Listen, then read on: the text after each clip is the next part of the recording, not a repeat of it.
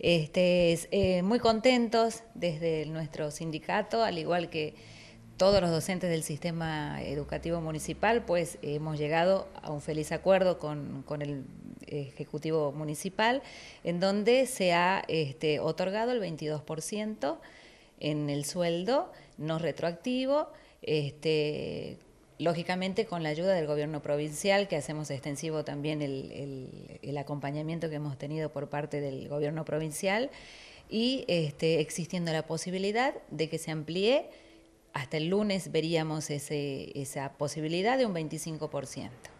Eh, ¿Ya se ha firmado un acta que, en el cual se, acordó este incremento?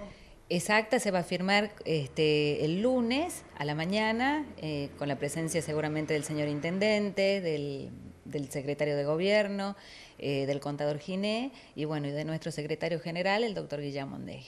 Eh, de alguna manera se, cedió eh, por parte del gremio, de los docentes en el pedido, porque era el mismo arreglo que habían realizado en la provincia, eso era lo que solicitaban. Exactamente, exactamente. De esta manera quedamos, digamos, este, en igualdad de condiciones con los docentes provinciales.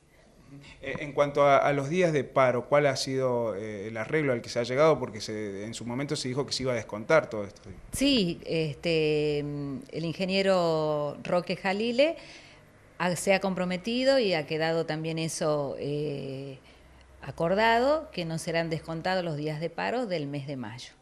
Eh, ¿Cómo ha quedado la situación con las bases? ¿Ellos están conformes con este arreglo que se ha llegado? Sí, los docentes, como decía inicialmente, están muy conformes, este, muy contentos, porque bueno, la situación de ellos en la cuestión salarial era muy diferente a lo que a un docente provincial.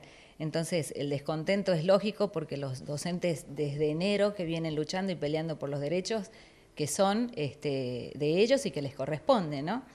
Eh, ¿De qué depende esta posibilidad de que se llegue al 25% la semana que viene en el arreglo definitivo? Esa posibilidad depende del gobierno provincial, de la recaudación que tengan ellos del Fondo Federal este, Educativo. Y bueno, eh, lo verán en esta semana y de acuerdo a esa recaudación de mayo, el lunes estaríamos ya con la concreción del 25%, que creemos que será efectiva. Eh, una pregunta que sin duda se deben estar haciendo los docentes del sistema municipal eh, de Valle Viejo es ¿Cuál será el aguinaldo que pagarán? ¿Con este aumento, con el, con el sueldo que tenían previo a este acuerdo? Sí, correspondería con este aumento. Eh, con este aumento que se hizo, digamos, con este incremento, ¿no? Sí. bueno, más allá de esta posibilidad de llegar al 25%, ¿se ha acordado que en el futuro, en el transcurrir del año, se pueda reabrir la paritaria? Sí, sí, seguramente. Este, las relaciones con el municipio, digamos, eh, eh, han quedado muy bien en el sentido que, hablando siempre desde el diálogo, ¿no? Este, no desde la confrontación, sino desde el diálogo. Entonces, eh, las negociaciones y para, sentarnos a dialogar creo que va a estar siempre dispuesto el Ejecutivo Municipal, tanto como desde este lugar.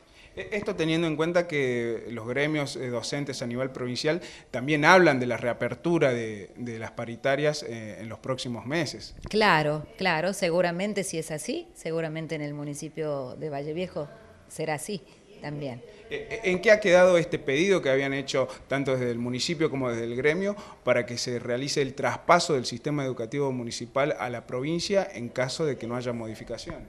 Y sigue en pie, sigue en pie, es un trámite que es largo, que es un trámite burocrático, pero sigue en pie. Desde el municipio se, les ha dicho que esto es, es la solución definitiva. Y ellos es una nota en conjunto, no nos olvidemos que es eh, de ambas partes, ¿no? Eh, consensuadas con las bases y consensuadas eh, con todos los docentes del sistema municipal, o sea, es un acuerdo de ambas partes.